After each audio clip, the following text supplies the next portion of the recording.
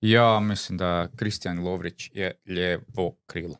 Ja isto. Koje može ući, zabit desnom, koje može probit bilo koga, jer jednako je onako dugačak i nekakav štrakljast.